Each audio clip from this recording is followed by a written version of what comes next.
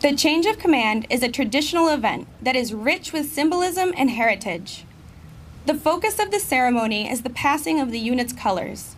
These colors represent not only the lineage and honors of the unit, but also the loyalty and unity of its soldiers. The colors are the commander's symbol of authority and represent his responsibilities to the organization.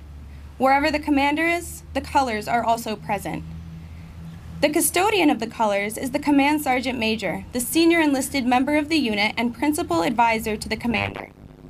The passing of the colors symbolizes the transfer of command and authority from the old commander to the new, demonstrating to the unit that the old commander has passed the mantle of leadership. With the colors passes the loyalty of the soldiers to their new commander.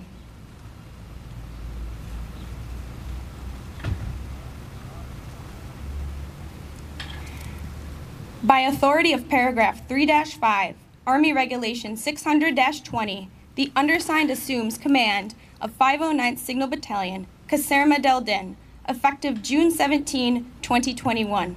Signed, Daniel N. Zisa, Lieutenant Colonel, Signal Corps, commanding.